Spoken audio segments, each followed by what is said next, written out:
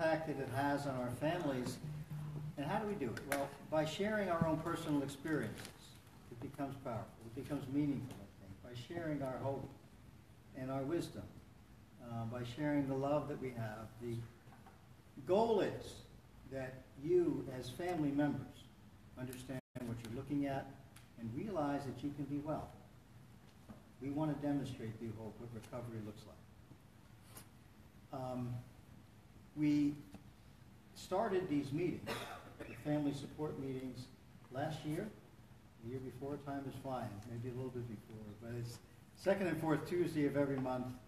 Um, the meetings are open, as you've seen, for anyone that's affected by addiction. We want people to know that you're not alone and that there is a support system that's based in love and hope to give you a meaningful way to become healthy. Makes sense. Arvo and I, we could not do it alone. Ron could not do it alone on our own personal journeys. We needed help. We're here to help you. Okay? We have, in the first part of these meetings, we have very talented colleagues that come to share um, different aspects about treatment and prevention and recovery. Um, we have Ian with us again, and Lindsay will introduce, but um, we're grateful for that. And then after our educational piece, we break out into groups, and I just love that part. Because then we get to hear from you.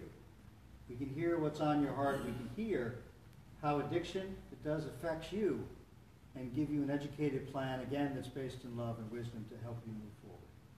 That's what hope does. Okay? And then we'll come back in here. I like to come back just for a couple minutes after our groups to share some takeaways from tonight. So with that, thank you again for being here. We appreciate you all. Let me introduce, oh, Lindsay's on crutches. This is Lindsay. Hello. So welcome. I want to thank everybody for coming, um, especially all the newcomers. Welcome, and we hope that you keep coming back and bring your friends and your family also. Um, we like to grow. We like to share the love and the hope with everybody in the community. Um, I would like to introduce our very special friend and speaker tonight, Ian Koch. Ian um, runs Surfside Recovery. Um, and without further ado, I'm going to introduce Ian. Yay!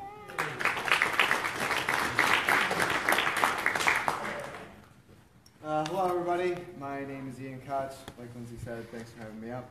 Guys, thank you as well. Uh, I've been up here a couple times. I am a licensed clinical drug and alcohol counselor. I'm a nationally certified addiction specialist. I'm the executive director of Surfside Recovery Services and Surfside Structured Sober Living. We are a nonprofit down in Ventnor, uh, New Jersey. We do a couple different things. One of the things is we have a young adult adventure-based non-clinical extended care.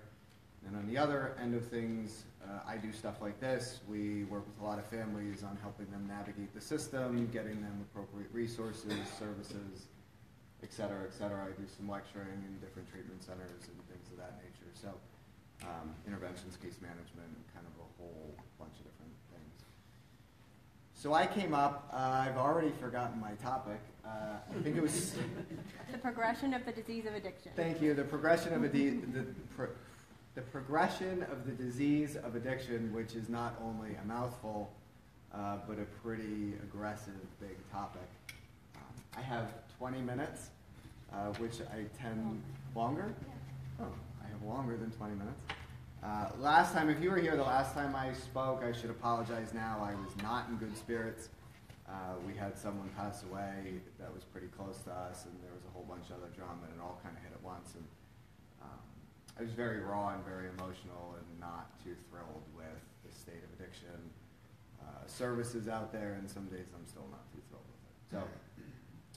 So, uh, my experience, in a nutshell, is that uh, I've worked in addiction for about 15 years. Uh, I have a uh, sobriety date that is March 7th, 2005. So I've been clean for 13 years. Yes, there is a discrepancy uh, in those numbers, and, and it has to really do with this whole progression of addiction and the way this stuff works. I think a lot of it has to do with the state of delusion. Uh, the difference between denial and delusion is denial. Uh, we know something is false, but we kind of hold our guns. uh, and try to pretend that it's it's not false. Where delusion, we legitimately don't know uh, that it is a state of delusion, and and that was very much my experience. I was working uh, with young adults. Well, I was actually working with youth at a homeless youth shelter uh, while I was selling cocaine and doing a whole bunch of other things. Uh, never did I think that there was any sort of problem with that. Um, I was getting a bachelor's degree in social work. Uh, one of the times I got arrested, I was actually locked up and I was in the back of the uh, car, drunk as a skunk, and trying to kick out the windows as I was crying and screaming, "You can't do this because I'm a social worker," and that doesn't, you know, uh, really delusional. I mean, really and truly delusional about my life and what was going on, and and like I, I legitimately just didn't know. You know, I, I didn't know what I didn't know, and, and my experience very much was that. You know, I was raised in a, in a great family, typical uh, middle class America. Um, my mom was home in the summers. You know, my dad was home by three o'clock in the afternoon. Like I grew up on a farm in the middle of nowhere, Pennsylvania, uh, north of Allentown. They had me working by the age of 14. I had my working papers and had a job at Dorney Park and Wild Water Kingdom. Like I was raised in a good family. My father was the main judge of Allentown, uh, Pennsylvania for uh, years. You know, you walk in to this day, you walk into the courthouse and his picture's on the wall. And I was not like that. You know, I was I was different. Uh, apparently, uh, if you shake my family tree, there's going to be alcoholics and addicts that pop out, uh, but there's no necessarily clear line in my family. So, you know, again, I, I didn't know what I didn't know, and my parents didn't know what they didn't know either. And I was seeing drug and alcohol counselors from the time I was 14 uh, until I got clean, and and a lot of them told me some really great information primarily to stop using. The probation officers also said, Ian, you need to stop using. And I would think to myself, that's a, it's a great idea. I wish I would have thought of that. You know, maybe I wouldn't have gotten arrested that time again. But I couldn't seem to, I couldn't seem to stop using. It wasn't, um, it wasn't necessarily in my wheelhouse. It wasn't, uh, I couldn't just like turn the, the, the switch off. And I think, and I say it a lot, of, a lot of the times, you know, we look back on Nancy Reagan, and she had a really uh, great idea, which is that we were all just going to say no, and uh, we were going to put our foot down, and we weren't going to pick up again, and that was going to be that. And that whole mindset has completely drifted away because just saying no for someone who's suffering from addiction just isn't an option. Uh, there has to be more. So. I don't. Uh, I'm probably gonna. I might want to use what I have over here, but I may not. So I'm gonna hold myself from going to it right away and uh, whatever. Um, a lot of people, when they talk about the progression of addiction, they talk about it from a standpoint of the brain and brain chemistry and things of that nature. And it's good information. But I, I literally have lectured on a weekly basis in at least one treatment center for the past 10 years. And never once have I met uh, an addict or an alcoholic who's relapsing and can't stay clean say to me, you know what, that last time I was just thinking, you know, my dopamine levels were off and I could feel my neurons not firing appropriately, so I decided to pick up a drink. That I've ne- no one's ever said that. In treatment centers, we spend a lot of time talking about you know, when the bad things happen, the person is going to pick up. Right? So we want to avoid that, that bad moment, that, that trigger. But the truth is, is a lot of people don't actually relapse over bad things. I've been in a million 12-step meetings, and I've heard it over and over again. You know, somebody's suffering, and they lost their jobs, so they're going to more meetings, and they're calling their sponsor more, and they're, they're plugging into their network more, and they're trying to engage. But I've never heard anyone say, you know, man, I've got this great girl, and whew, things are really, really good at home, especially after hours, and I just got a raise at work, and I got a new car, so I'm doubling up on my meetings, and I'm calling my sponsor more. Never do I hear that, right? Because there's something that happens, there's a gap from when the person gets clean to when they relapse, right? It's like we see it a lot in treatment centers. You know, Johnny or, or Jenny, they walk into treatment, and they're getting through detox and a couple days through detox They start to feel better, and all of a sudden, five, six days clean, all of a sudden they're at the case manager's office. They got to go home. They've got stuff to do. They, they got to pay the Comcast bill. The grass needs to be mowed. They got to get back to work. All of a sudden, all these things, right? Where five days before that, they're begging to get right? Because they just can't stop using. My point is that staying sober, uh, or, or the problem is not getting clean, right? The problem is not getting sober. The problem is staying sober. That, that seems to be the trick. And, and again, if, if being clean or, or being sober was the answer, we would only have one type of addiction service. And that service would be called detox. And you would go to detox, and you would get clean, and you'd get on with your day. And it would be that simple. Yet, I mean, some of you who've experienced this, whether it's a loved one or personally, sometimes it's detox after detox after detox after detox after detox. You know, and, I would also challenge uh, all of you to think about your loved one who's been suffering or currently suffering. You know, when they pick up again, is their life in complete turmoil, or do things start to be going well? Right? Do they get another job? Do they get a car again? Do they start working? Right? Does do things start coming back to them? Like what what do those experiences look like? So in 12 step recovery in, in the NA basic text, uh, somewhere around page 2021, it talks about three aspects to the disease. And it talks about a physical component, they talk about a mental component, and they talk about a spiritual component. In, in the Alcoholics Anonymous book, uh, they talk about something called the phenomenon of craving, the mental obsession, and the spiritual malady. And ultimately, regardless of what you call them, they're, they're three uh, integral pieces to the puzzle, right? And the first, the first is this physical component, and it's not withdrawal. It's not being dope sick. It's not shaking from the booze. The physical component is a compulsion to use once you've started to use. Where, so my mother, my mother recently had a knee surgery, and uh, in her knee surgery, uh, she, I called, you know, to see how she was doing, and, and she said, I said, well, what did they prescribe for pain? And she said, oh, well, they prescribed Percocet, five milligram pills. I said, well, how many did you get? She says, well, I'm supposed to take two every four hours. But I'm only taking two before physical therapy, and I'm taking two before I go to bed. So she had the surgery last week. I called her two nights ago. I said, so how you doing? How the meds? Da da da da da. She says, oh, well, I've stopped taking the meds three days ago. I said, why? She said, well, I'm in pain, but I don't think I really need them. So I flushed them. Okay? My grandmother, uh, she had a hip surgery. Uh, she called my mom a couple times. This was maybe a year or so ago, and she called my mother, and she was complaining how much pain she was in.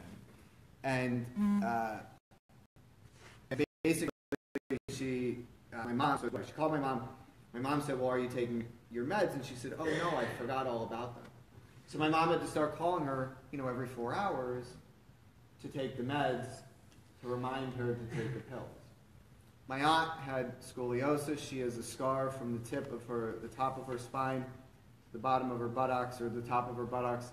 Uh, she took Percocet for two days and decided she didn't like the way it made her feel, and she got rid of it.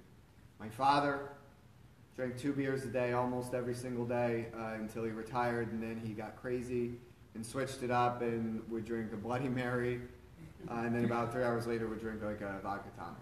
When my father makes a drink, he uses a jigger. For those of you who know what a jigger is, he pours off one level shot of vodka, pours it in the glass, fills the rest up with the mixer, and has his drink, and that's it. I've seen him uh, tipsy twice. When I make a drink, I fill the jigger up with the mixer, pour that in, and then I fill the rest of the glass up with the booze. Right? When I get a, a script of pills, my experience was uh, I would pick them up at the pharmacy, and as I'm walking through the parking lot, I would open them up and I would take a couple, and then I would get in my car, right? And then I would take a couple more, and I would think, all right, that's it. I'm gonna make the I'm gonna make the rest last. And I would get home, and I would think, well, eh, I can have one more now, and then I'll and then I'll really make them last for the rest. You know, and then I wake up the next day and I think, well, let me just have two. I still got a bunch left. And then by noon it's another one or two. It, you know, and it, and it just snowballs. And four days, five days go by, a 30-day script is gone. And I think to myself, now I got to go find him somewhere else. When I drink alcohol, I tend to go to the liquor store, and I always underestimate myself, even though I don't think I'm underestimating myself. And I buy a six pack, and I go home, and shortly later I'm down at the liquor store buying a 12 pack and a bottle of tequila. Right? I, I always or when I buy a lot of booze, I always have the intention of just having a couple, but when I have a couple, I get thirsty and I have a couple more. Right? I've never gone out and bought 24 waters and sat down and drank 24 bottles of water. Right? Because I don't have this, this physical component with water. I don't experience it with caffeine either. You know, if, if I have a coffee in the morning, I may have, if, it, if it's like a crazy day and I'm exhausted, I may have three, maybe four more throughout the day. But honestly, I can't tell you the last time I've had five regular sized cups of coffee in a day. I had two today. I think I had two the day before, probably two the day before that. But I, I can control my caffeine. I can control my water. But for some reason, this physical component that is talked about in the 12 step literature is an inability to stop when the person's starting. I like the language of AA. Uh, slightly better than NA because it, it calls it a phenomenon of craving. And when we look at this idea of a progression, a phenomenon fits in really well because a phenomenon is something we can see happen but we can't explain. And a craving means we want more. It's a phenomenon that a heroin addict smokes a little pot when they get out of treatment and shortly after is using heroin. Like that's not a like the state of Colorado is not, not everyone who smoked pot is shooting heroin today. Let's be clear. There's a whole lot of people who were thrilled that pot became legal and they started smoking pot, and that was that. Right? But I can't tell you how many people I've met who've gotten out of treatment with the idea that they're going to smoke pot or they're just going to have a drink of alcohol, and they do, and then they end up using heroin shortly after, if not immediately after. Right? That is a phenomenon. Right? It's something that's observable, it's something we can see, it's crystal clear, there's probably a reason why that has to do with the brain, but the truth is, most people, when they go and pick up again, they're not paying attention. The mental part of this, this illness is this uh, inability to look at the consequences before they pick up. Right? So this happens from a moment of sobriety. Right? And, and I'm going to show a video about this, uh, kind of about this, that will illustrate in a few minutes. But this is, this is the piece where someone says, and you've heard it, I'm not going to do that again. And when they say it, the intention is, is true and it's pure, and they, they believe it from the depths of their being, yet for some reason, they pick up again. Right? And you ask them, well, why did you do it again? And they give you the blank stare, like, I don't know. And that's probably the truth. They probably don't know. Right? We talk about, we call it the mental obsession uh, and typically, when people hear the word obsession, they think of this like nonstop, all day long, daunting feeling and experience, but that's not necessarily an obsession. An obsession, by definition, is an idea that outweighs all other ideas. So if someone gets hit with an obsession, like if I get hit with an obsession, I have to go. And I make up some sort of excuse to leave, whatever that may be. But I got other plans, and I don't care what I have to do, I'm out the door. That's, that's the obsession when it comes to addiction. And, and think about think about what you've experienced with your loved ones, and that's that's the folks who are leaving treatment after five days of being there because the, some insignificant twenty dollar bill has to get paid. I mean, we all know if you're late on a bill, even a couple months, it's not that big of a deal. Yet, in that moment, it's a huge ordeal and then shortly later they're back in the same situation. The mental obsession does not respond to reasoning. It is also separate than a thought. Like if I say pink elephant, or tequila, or Patron tequila, or heroin, you've all thought about those things. It's very different than an actual obsession. Right? An obsession is an idea that outweighs all other ideas, and it's uncontrollable, and it's not stoppable. The third part of this illness, uh, and, and in the NA basic text, it talks about a, an intense self centeredness. In the AA literature, it also talks about it being self centered, and it talks about it being a, a restlessness and irritability and a discontent. And, and what, it, what it is describing is an internal condition prior to picking up a substance. Right? So we admitted we were powerless over our addiction, dash, that our lives have become unmanageable. All this translates to the family as well. Right? The unmanageability is, is that moment of complete uh, angst and irritability and discontent. And then the mind says, well, maybe I can have just one, or maybe I should just call them to see where they are. Maybe I should just check in on him. I haven't heard from him all day. Maybe I should just see what's going on. And then that moment happens, and then, then that physical piece kicks in. Right? The, the translation is very, very much the same for families as to, as to, um, to addicts and alcoholics. That, that unmanageability is from a state of sobriety. The biggest piece of this whole progression is that we're under the impression that being sober is going to keep us sober.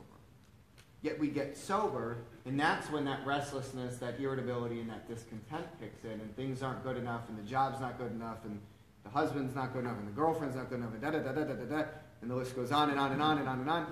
And eventually the mind says, well, maybe I can have just one. Or the mind says, well, I'm not going to do any of those. I wasn't really an alcoholic anyway. I can have a beer. Or, well, pot's going to be legal in New Jersey soon enough anyway, so what's the, uh, it's, I have some sort of illness no one's ever heard about, so I can legally smoke weed because it's a medicinal use, whatever nonsense, right? And then the person ingests the substance, and then once they ingest the substance, they can't seem to stop. This, this is the progression of the illness. The reason we're having so much trouble, this, this is kind of what I wanted to talk about. So this is on our website, uh, and we have a pretty extensive blog section uh, under blog. The website structuredsoberliving.com. This article is it's called "If 28 Days in Addiction Treatment Doesn't Seem to Work," and then it basically is subtitled "Rethinking the Landscape of Addiction Treatment." So I'm going to come back to that. That's Bart Simpson being arrested. Here we go. I think it's that. Good. So if you've not seen this, or if you've seen this before, just write it out. Um, This is a test of selective attention. Count how many times the players wearing white pass the basketball.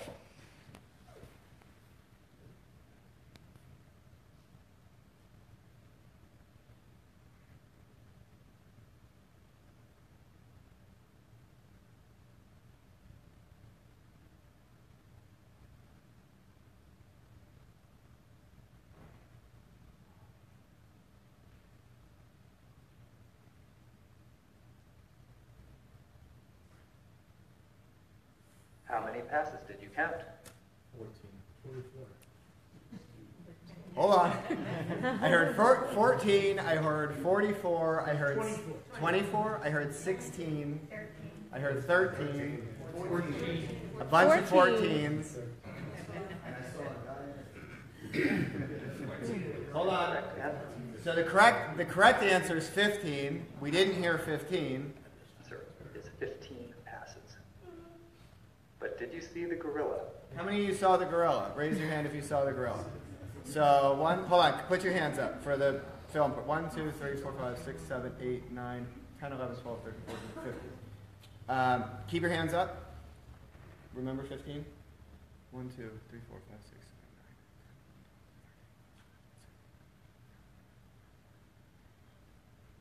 7, 9. So 25 did not see the gorilla, 15 saw the gorilla.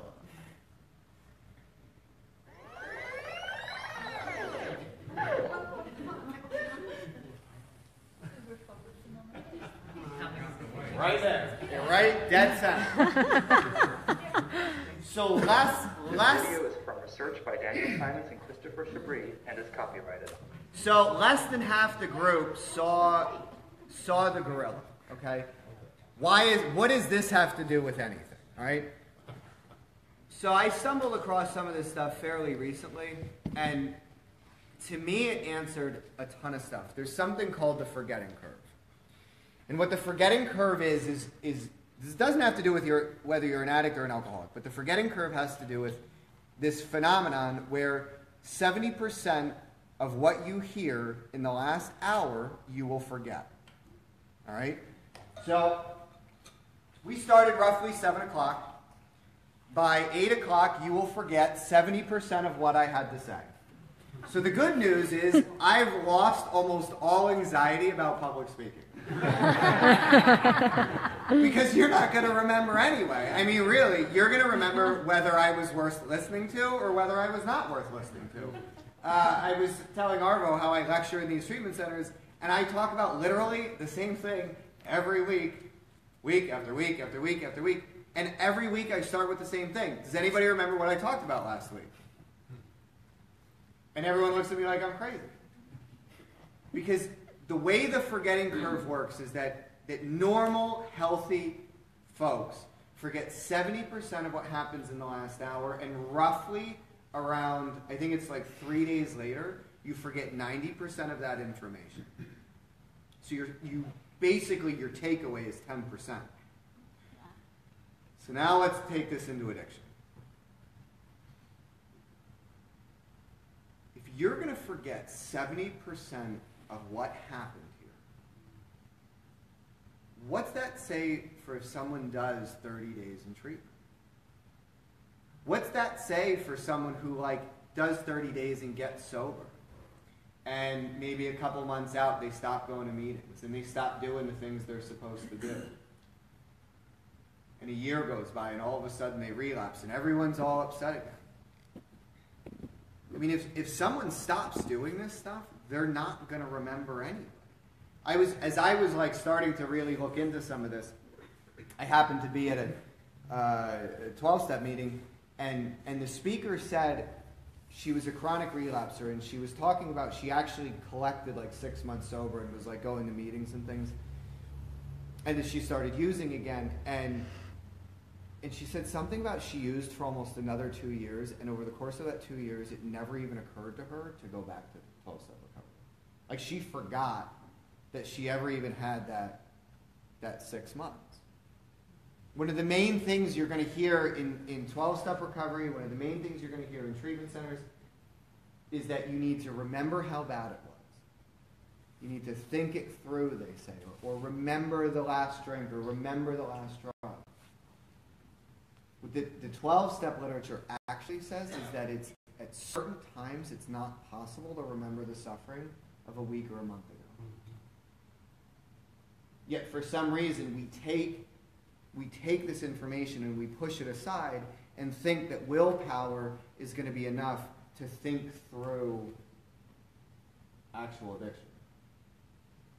The truth is they're not even going to remember they had a problem in the big picture. This is the only fatal progressive illness that tells you you're fine and you don't have a problem. It's the only one. This information sucks. And there's really no other way like to say it. You know, like this is this is really the it's a first step experience. Right? It's really it's an experience with true powerlessness. You know, it's an experience that that should feel hopeless. Because that that is the powerlessness of addiction. You know, the fact that somebody a week out is going to remember a couple things. They're going to remember if they were there and if they weren't there. They're going to probably remember if the food was decent or if the food wasn't. Right? They're going to have a whole bunch of, random stories that mean nothing about nothing. and then they're gonna they're gonna get out, and the family's gonna be frustrated with them and, and wonder why they end up doing it again. And, and the reality of it is, is if you're a healthy, healthy, functioning adult, you're still stuck with this whole thing, this forgetting. Part of what determines whether somebody forgets, right? So how do we so if the if the problem is that people forget, right? The solution by default is like help them remember, okay? The factors, the key factors that determine whether someone is going to forget is directly proportionate to uh, the moment of intake, we'll call that, right? So if at 7 o'clock is the moment of intake, and, and actually right now is, is another moment of intake, so 8.43 is the other, the end of this hour, right? That, the information, whether it's retained or not, are going to be determined by multiple factors. Some of those factors are how well the information is being uh, projected.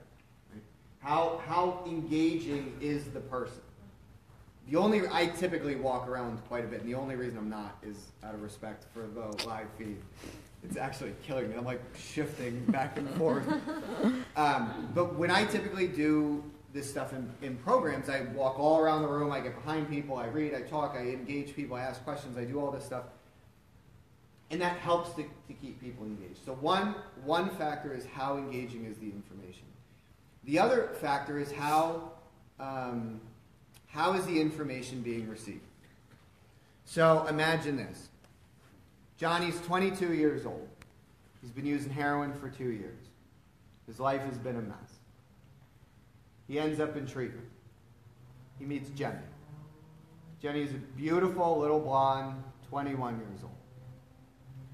They sit by each other in group, pass notes, tickle when the therapist is not paying attention, you know when the therapist is, is doing the lecture, they kind of talk like this and show a PowerPoint on triggers and the, and the addiction disease. And then Johnny leaves and Johnny gets high again and his family is wondering what just happened. He never, he never had a fight in the shop. I mean, this is, this is just like, we're set up, and I, and I always, I always go back to, seemingly talking about the problem. And I talk about the problem because if people are educated on the problem, then people can look for solutions. I don't have all the solutions. But there needs to be mm-hmm. engaging programs that are long term. And I'm not even saying residential, I'm saying long term. The reason folks do well in 12 step recovery, and it's why I always recommend 12 step recovery, even over things like smart recovery. Like, I, I really try to recommend like fellowship driven programs is because if someone can create a fellowship, like a network, like that is is more of a day to day calling, texting, what's up, let's go here, let's do this, you know what I mean? It's not just a like one hour boom. You know, it's it's more sustainable. And it's why folks who, who tend to be heavily engaged in 12 step recovery tend to stay sober. Now, I don't have the statistics for the folks who are staying sober who are not in 12 step recovery, or those types of fellowships because I don't, I don't know them. But I can tell you this, is that uh, I'm not super shy about my anonymity. I have no reason to be. And in my travels and meeting people and other aspects of my life, I go to the gym, I uh, kite surf, I surf, I do all these things, and I talk to people, and, and I've never, I've, not never, very, very rarely do I meet someone who identifies as being in recovery who doesn't also identify to going to some sort of 12 step fellowship. Yes, they are out there. I, there's one at the gym. But that one at the gym even said he did 12 step recovery for quite a long time and still is a network of those people. In those networks, in doing that like weekly or daily or that consistent thing, and whether consistent is two times a week or once a week or five days a week, it doesn't matter. Consistency, right? In doing the consistency, it's a consistent reminder. You know, and they say it in 12 step recovery, we have a built in forgetter. But I've seen this stuff over and over and over. This, all this information, uh, go research it, the forgetting curve. All this information backs why, like, some of these little things that have been said year after year after year. I mean, 12 step fellowships are 70, 80 years old. You know, it's like why this stuff is said because it, it consistently works. You know, we, we are, as an industry, we are, the pharmaceutical company has made this thing a disaster, and the pharmaceutical company is trying to clean it up. That's a problem. You can't fix dumb with stupid. It doesn't work. Not saying medicated assisted treatment is bad at all. I'm a proponent of some of this stuff in appropriate areas. In appropriate areas. Suboxone and Bupe was designed to be a short-term detox. Methadone was designed to be given to 20-year plus heroin addicts. Vivitrol is fantastic for 16 to 20 days. And you can still smoke crack, and you can still smoke pot, and you can still do an array of other things. You know, like, the pharmaceutical company, the way I see it, is pushing these substances as the fix and the cure-all. Not saying they're bad. They're a fantastic leg up. They're a fantastic leg up. But they're, they're not the end all. Right? Gabapentin is a medication that's being pumped out of treatment centers. They're showing that gabapentin uh, does something to the, the pathways in the brain where you can't actually learn new behavior. Like I've watched, and I've watched it for years. Guys get out of treatment, they're on gabapentin, they've been on gabapentin for years, they can't stay sober, they're chronic relapsers, they will not give up the gabapentin. Not only is it abusable, but maybe there's a, a correlation. Maybe, maybe they're never actually going to get clean because they don't know how to be vulnerable.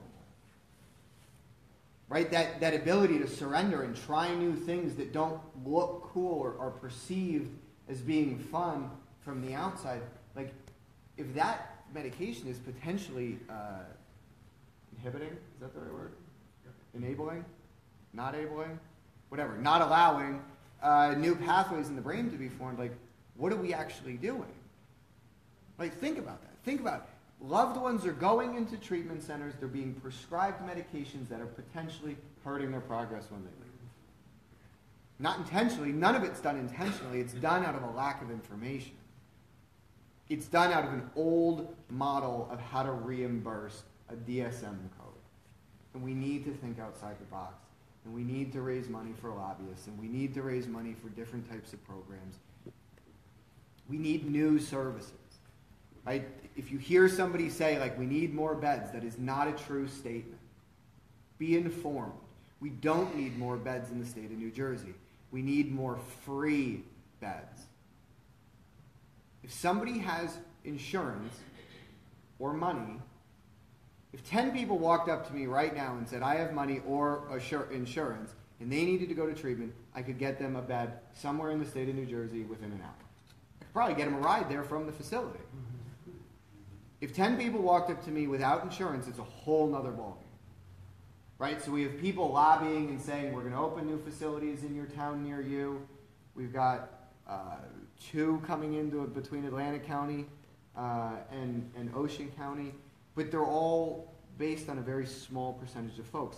Surfside does not, it can't help everybody. You know, the part of our program just, it's feasibly not uh, financially available for everybody.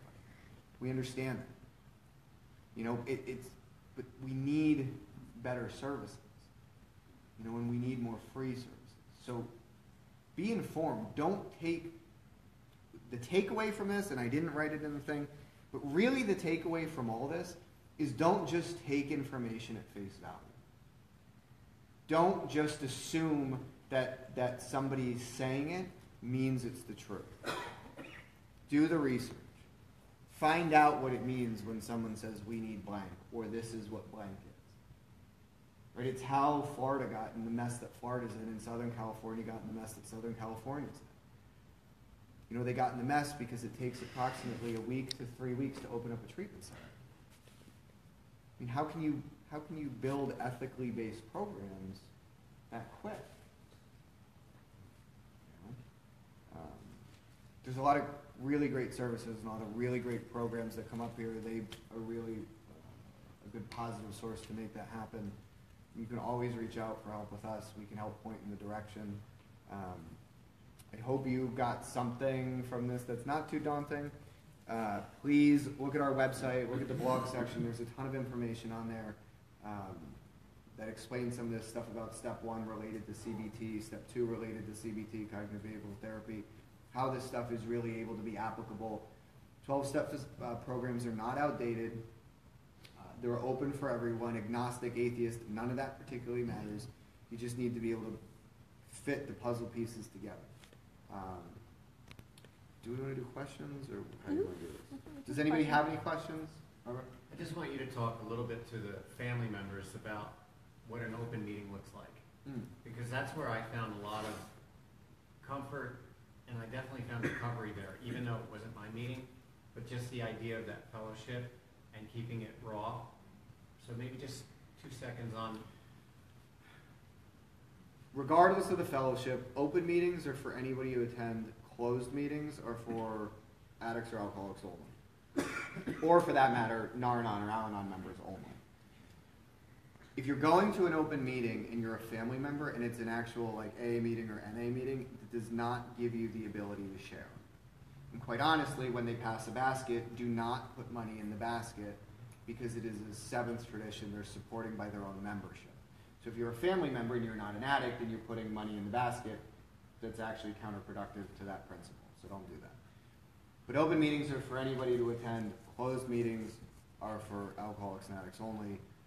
Vice versa with Al-Anon and Nar-Anon. and what do they talk about there? Al-Anon and Nar-Anon? No, no, no, that, the open meeting that you go to, what, what does that look like? I mean, it depends on the open meeting. I mean, meetings. So, my my crusade as someone who helps families is to try to get more families to not only engage in twelve-step fellowships like Nar-Anon and Al-Anon, but to actually get sponsors and work the twelve steps and find the freedom that is available. Every meeting is different. So you may have a literature-based meeting that has books being read and then people talk about it. You may have a speaker meeting that is a short speaker and then a discussion. You may have an hour speaker, which is a full speaker. Some meetings have breaks. Uh, some meetings just throw out random topics and people talk to them about them. It doesn't particularly matter. Um, the point is, if, if you've tried to do the meeting thing and it hasn't felt good, uh, what I would tell anybody who's trying to go to meetings is I would say go to uh, at least uh, that meeting three nights, uh, three weeks in a row, because one night could just be an off night. And I would also say try to find at least five different formats of meetings that you're going to to experience everything that it potentially has to offer. There's certain types of 12-step meetings that I can't stand. I can't stand them. Um, and there's other ones that I'm excited every week to go to. So uh, that you've got to kind of navigate on your own. But usually what happens is because we're creatures of habit, uh, and that means really we're lazy, we don't ever try to experience that new thing. Right? Like when I go to the Indian restaurant and order food, I get the exact same meal every time I go, almost every week, right? With my wife, she gets the exact same thing because we're comfortable with that, right? Um, you've got to be able to find different things and find different avenues. Hi, my name's Tom. Uh, when I came to the, to the rooms, uh, I didn't think twelve-step programs were a good idea. I thought it was like, I was in just enough pain in order to get me to the rooms. And then I found out, uh, in AA that, uh, I got two choices. To either die this alcoholic addict death or live along spiritual lines. Why do I always get two terrible choices? You know what I mean? Exactly. And then all of a sudden, uh, in NA, they start talking about a new way of life. You know, they promise this new way of life. What is that new way of life? I mean, I, don't, I'm not talking about the cycle of in and out Hmm. Freedom. of detoxes and Freedom. rehab. Yeah, but what does it look like? Freedom.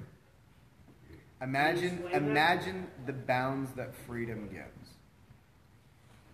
That's what it gives. When I think of freedom, I think of not being held back. I think of being able to go anywhere and do anything. And if and if I screw that up, being willing to accept those consequences for what it is. And then moving forward again. Right? True true freedom. Uh, I mean, my experience is every one of the dreams I've ever had uh, prior to getting sober came so, or came true by the time I was five years sober. And then I needed new dreams, so those dreams came true. And then I needed new, right? So that's freedom. Uh, it says in the literature the 12 steps, if practiced as a way of life, remove the obsession to use and enable the sufferer to become happily and usefully whole. If practiced as a way of life. Yeah. All I ever wanted was to be happily and usefully whole, whatever that looked like. You know, and for me, that was coupled with freedom. You know, being able to hold a job, being able to pay my bills. I, I remember my, my first apartment in, in sobriety, my own. I had a TV in the living room. I had a kitchen table and a toaster oven and a microwave. Uh, upstairs, I had a bed and a filing cabinet and a dresser. I would come home from work. I was a landscaper. I'd come home from work. I'd take a shower. I'd go down to the living room. I'd lay a blanket on the floor, take a pillow from my bed, and I'd lay on the floor, and I'd watch TV happier than a pig in shit. Excuse my language. You know, uh, I was free. I was absolutely free. Bruce, I'm an addict. Hey, Bruce. Uh, my original clean date was January fifteenth, two thousand sixteen. I Never tried to get clean, and then I finally, my son was born, so I got clean. I went to NA, and what he said, freedom. I know what freedom meant. People hugging me, I know what, no one touching me. You know, so they loved me. But in those two years before I relapsed, I relapsed in uh, early January, after I received my two years. But, and it was two beautiful years. I got my son back, got a car, was knocked for a year, got a nine own place, it right, got a sponsor, home group network. They said if you stay in that program, you will find a new way to live and not suffer. That's where I found that. But once I stopped going to meetings, I stopped listening, I tried to do it on my own, stopped calling everybody. I came back to that dark place. and I ended up using, it, you know. So now, you know, I'm getting back to being free, you know, and that's that's the, the beautiful thing about it. That, that was my freedom. Like, when, like you said, when I came in the room, I said, try it. So I don't want to try it. I don't want no one telling me what to do. I don't want no people hugging me or touching me or telling me they love me or tell me I love myself. 'Cause I didn't love myself back then, two years ago. You know, like I was beaten down, worn, you know, and I did it. I went full in, and I, I shouldn't have, you know. I said, once I started working steps backwards, as I say, Mm-hmm. because I can't Good do it on my time. Bruce tries to do it on his own. Bruce don't do too good. You know, because then I take that, you know, instead of when I, I want to get high or something like that, or want to use, say, call them good friends or good people in that, my network. You know, I didn't call nobody. And I don't know, you know, that's what happened to me.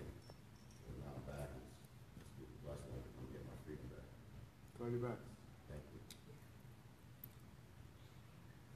Anybody else? You forget what I talked about? what did he say? I know the gorilla. All right. Um, you want to do your thing? Yes. Awesome. Thank, Thank, you, everybody. very, very much.